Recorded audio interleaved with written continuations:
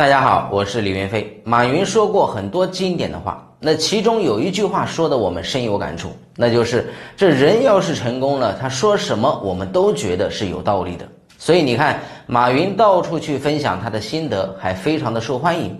那为什么呢？因为人家成功了呀。所以呢，他说什么话，我们都觉得他讲的挺有道理的。那不过，马云从摆地摊卖鲜花到现在的阿里巴巴商业帝国的打造，那这一路走过来，确实也有很多的商业经验是值得我们去学习的。马云在一次分享当中就讲到，人要想取得成功，需具备两个条件。那到底是哪两个条件呢？我们一起接着往下看。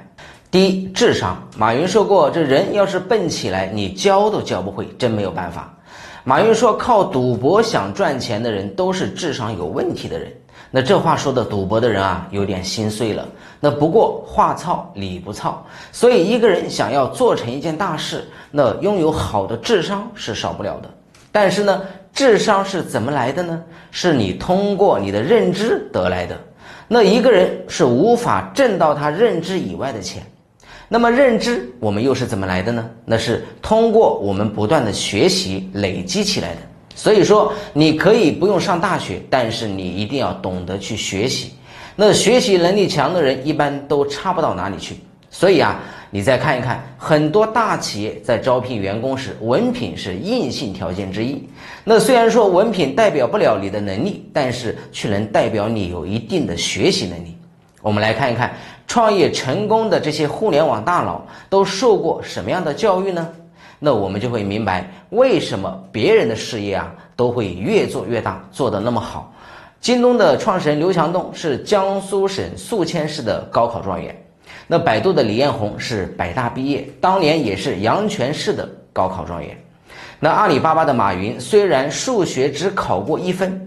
但是人家第三次再考试时，数学竟然考到了八十九分，而且人家学的还是英语专业，那这也足以证明马云的学习能力也是非常强的。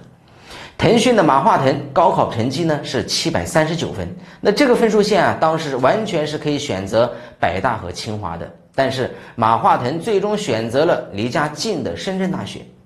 小米的雷军一九八七年是湖北省的高考状元。那高考成绩远远的超过了清华、北大的录取分数线。当当网的李国庆也是当年的北京文科高考状元、北大学子。那看完这些，你就知道为什么别人的事业越做越大，而我们的事业呢却越做越失败的原因了。那是因为我们的智商还不够人家好，所以我们好好学习才是我们唯一的出路。那些还在说教育是没有用的人，只能证明你现在混的还不够好。第二，情商，马云不但智商高，情商还高。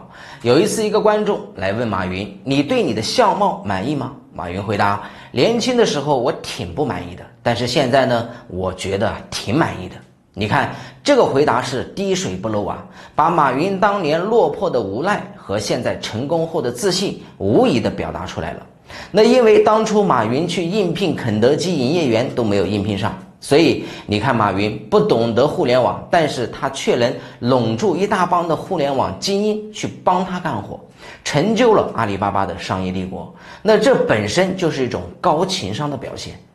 马云说，一个人啊想要成功，那智商和情商都少不了。那一个人有好的智商，但是没有情商，即使你成功了，别人也不会喜欢你，不会去拥护你。那这样你孤军作战，你也成功不到什么大气候。那一个人有情商，但是没有智商，你的事业也做大不到哪里去。马云说，生活中一般情商高的人智商都不会高，那是因为喜欢玩的人哪里会去喜欢学习呢？但是智商高的人一般呢，情商又高不到哪里去。那是因为一心只想去钻研书本的人，又哪有时间去学习社交和应酬呢？那听到这里啊，你就会明白了。那为什么成功的人总是啊一少数，总是这么少？那是因为情商和智商是成功的必备条件，那缺一不可。而我们普通人一般是鱼和熊掌不能兼得。你对马云所说的人要想成功，必须要具备情商和智商这两个条件，怎么看呢？欢迎大家留言讨论。今天就分享到这里，下期见。